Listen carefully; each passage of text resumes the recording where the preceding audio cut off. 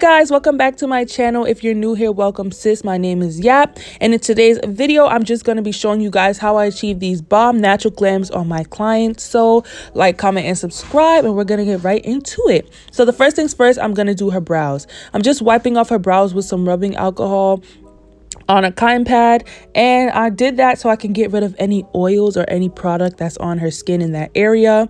And now I'm going to take some Got To Be Glue hair gel on a mascara wand or a spoolie and I'm just going to work that gel into her brows.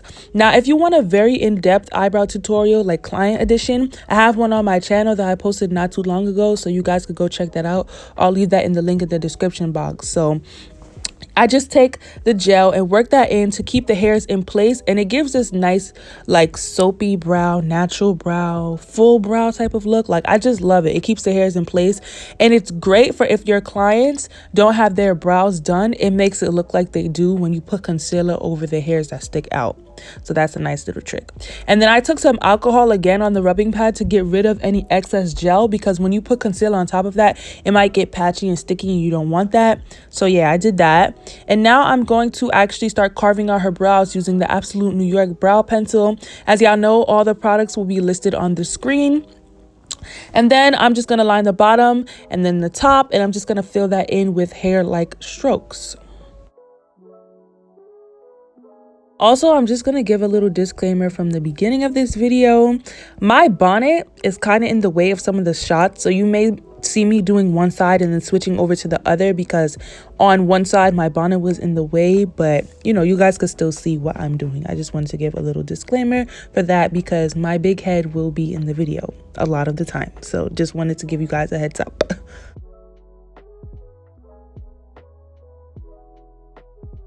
So this is how the brows will look before you apply your concealer. It may look a little crazy, but that's what concealer is for. So I'm taking this concealer from e.l.f. It's the Hydrating Camo Concealer in Deep Cinnamon on this flat concealer brush that I got from AliExpress, but I'll leave the link in the description box. And I'm just carving out the brows, making sure that the brush is extremely, extremely flat so I could get the perfect, precise brow that I want. And I'm just following the line that I just drew or, you know, the outline of the brow that I just made. And I'm just following that, following the shape, getting it how I want to. Keep in mind that brows take a little bit of time, okay? Brows is not something quick and easy. So like I usually say, if you find yourself doing the brows for a little bit of a minute, don't even stress about it, sis, because brows take time you know? So after i do the bottom i then do the top and i'm switching over to the right side of the brow because once again my big head was in the way. So but y'all can still see what i'm doing. I'm just taking a concealer that's more close to her skin tone and this is the tarte shape tape in rich. And I'm just carving that out, outlining the brows, making sure that everything is perfect and in the shape that I want it to be. Okay, so now we're back on the left side. And I do the same thing to each brow. It's just that I'm only showing you one brow because I didn't feel like showing you the same thing twice. Y'all get the gist. I'm just taking some nice Kevyn Aucoin Skin Enhancer. And it's a little bit lighter than the concealer that I used on the bottom. And I'm just going over the outer portion of her brow because when that is extremely sharp, that gives you the nice fleeky brow look. So I use a thicker um, concealer with a thicker consistency because that is what really makes everything very sharp and clean and just, you know, fleeky. So after I apply that to only the outer portion, I then blend it out and I really, really love this brush from e.l.f. It's the Blending Perfector brush. And you know, I'm just getting rid of the boxy look in the front, making sure that everything is nice and blended. So after we do the brows, we're moving on to the eyes. For my natural glams, I always do like a brown eye, but I don't really use eyeshadow for it. Instead, to save me time, I use a concealer that's like a little darker than their skin and has a nice brown tone to it. And then I just apply that to the lid as a base color. And then I set it with a setting powder that's also a little closer to their skin. So this is the Ben Nye setting powder in chestnut. And I set the eye with that, of course. And then I go over it with a little bit of bronzer, just a little bit. And this gives that that nice brown smoky eye eyeshadow look without you actually having to use eyeshadow and it saves you a lot a lot of time so I'm just applying that, dusting it over her eyes with the setting brush. And then I'm going to add a little bit of gold eyeshadow to her inner corner because, you know, just to add a nice little pop to the natural glam. Now I'm just adding a little bit of eyeliner. I'm not doing a wing. I'm just adding a line just to make her lash line a little thicker because I like for the lash line to look a little thicker. And also, if you apply lashes and there's a gap, the black liner will fill in the gap so we won't have that weird gap between her real lashes and her lash line and then the false eyelashes. And now I'm just adding a little bit of highlight to the brow bone to make it pop. And look at that glow, y'all. Oh my gosh, so pretty. But I blended it out a little bit because it was a little harsh. And now I'm just going to moisturize her face while her lashes are getting tacky. And I'm using the Pond's Dry, the very dry moisturizing cream. And I'm just to rub that in all over her face.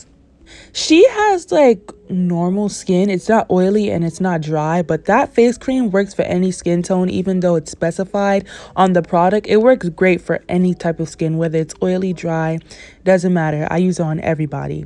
So after I do that, I apply some of the Milk Hydro Grip Primer just so that the makeup lasts long. And it also has like the foundation has something to stick to and it gives a nice base you know it smooths out the skin as well so i really really recommend it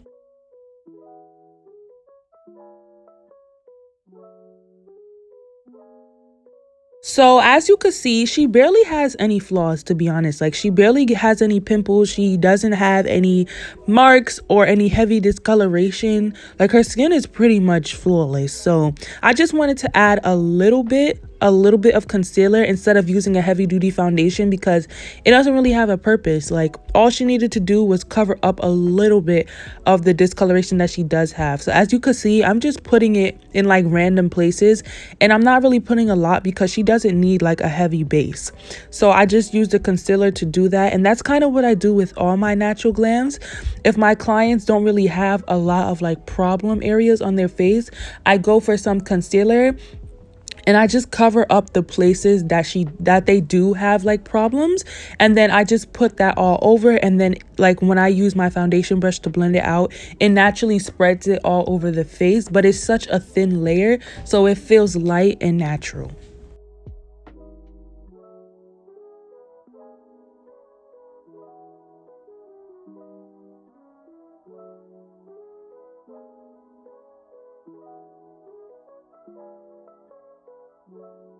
So now we're moving on to highlighting.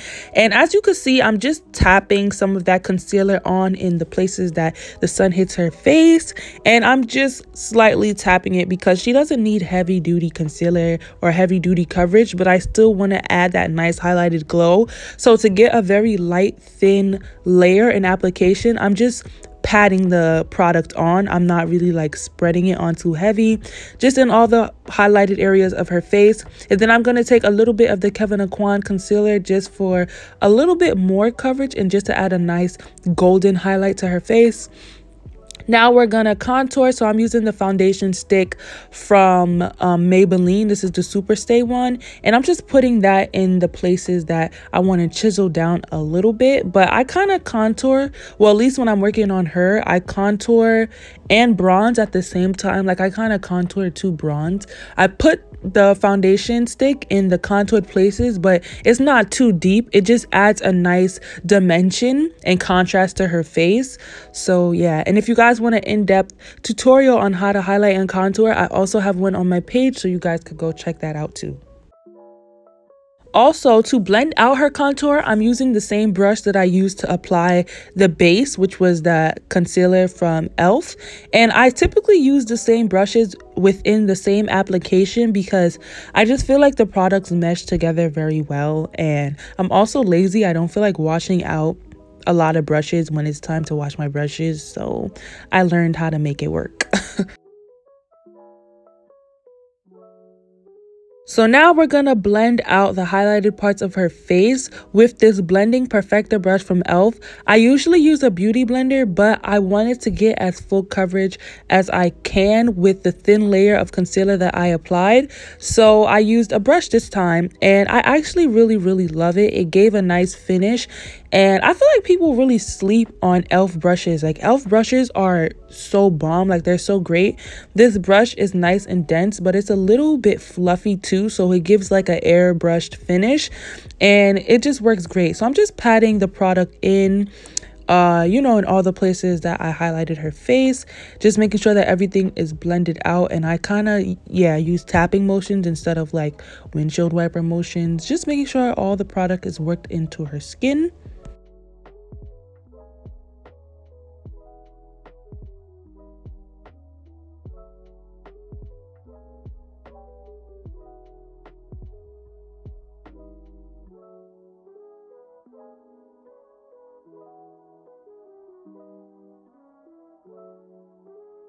So I'm going to set her face and I'm going to start with the under eyes first in all the places that usually crease the fastest first.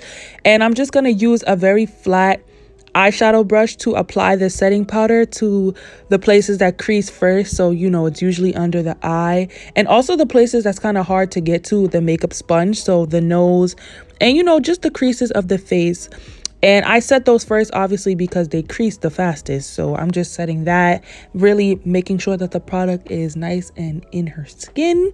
And then I'm going to go over that with a makeup sponge to set the rest of the highlighted areas. I also set underneath the contoured area because when I wipe it off, it gives a nice sharp and snatched look to the contour. But y'all will see that in a second.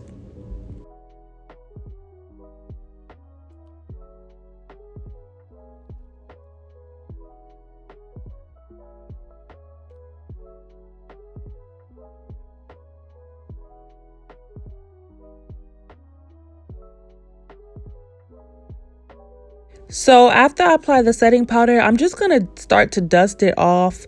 And I kind of dust it off in a certain order because I want certain products to sit on the face a little longer than others. So I do the forehead, then I wiped off the lip area, then a little bit off the cheeks, and then the nose. And I believe I'm going to let the powder under the eyes and under her contour sit for a little bit because I want that to really set the most. And then I slightly contoured her nose a little bit with the bronzer from Morphe, the Glamour Bronze in Supreme or Prodigy. It's one of them. And then after I do that, I just wipe off the powder under her eyes and on her cheeks.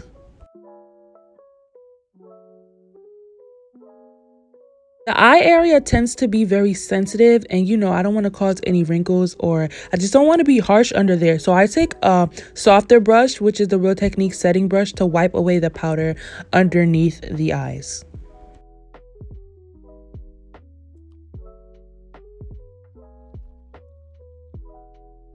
To set the contoured areas and to also add a nice little bronzer to the skin, I'm going to use the Morphe Glamour Bronze in Supreme on a powder brush from BH Cosmetics. It came in a set, so I don't really know the specific name, but I know it's from BH Cosmetics.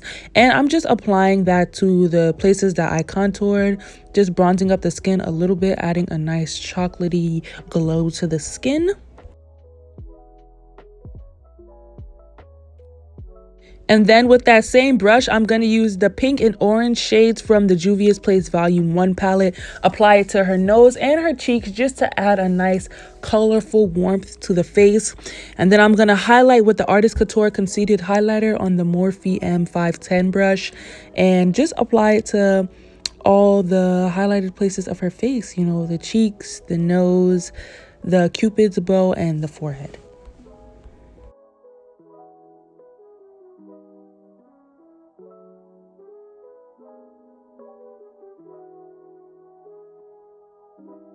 I'm to line her waterline with some black liner from Absolute New York. And, you know, just making sure that that is nice and smudged out. Gonna add some mascara to the bottom and top lashes with the Mega Length Mascara from Wet and Wild. And now we're gonna move on to the lips. So I am just applying some Vaseline to her lips. I usually use a lipstick applicator, but she's my sister and it was late. I just wanted to be finished. So I just used my finger. But if you're using if you're doing a client, of course, use a lipstick applicator. And then I am taking some brown lip liner from the beauty supply store. I honestly don't remember the name, but I know it's a dollar and I get it from the beauty supply store. So yeah, I'm just applying that, just some dark brown lip liner.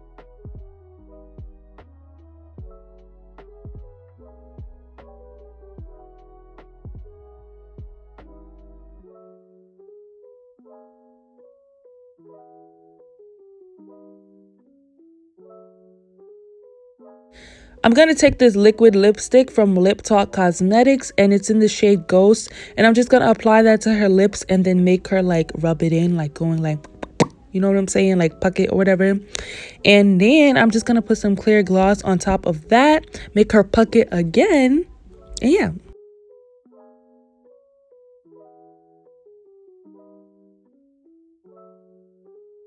So the final step is setting the face. I'm going to take some Mario Badescu Rosewater Spray, spray her on the Beauty Blender, and then pounce it into her skin because I want to set all the layers of makeup that I just put on. So I'm just pressing that into her skin.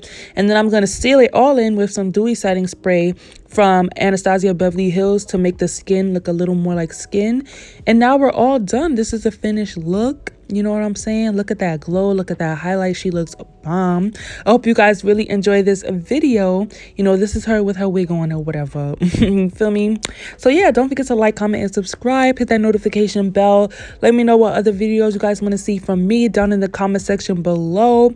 Let me know, you know, if you learned any tips and tricks and all that good stuff. So I'll talk to you guys in next week's video. Peace.